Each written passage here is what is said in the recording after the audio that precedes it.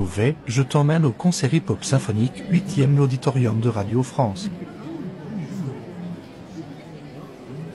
Le concept est simple, c'est un concert de hip-hop proposé par Louvre avec l'orchestre philharmonique de Radio France et ici à Ice Cream. Et aujourd'hui, nous performer avec les artistes de notre culture, Kaina Samet, Taïk, Ronisia et Turi. C'est un concert aussi. Tu brouilles, tu brouilles pour ce programme.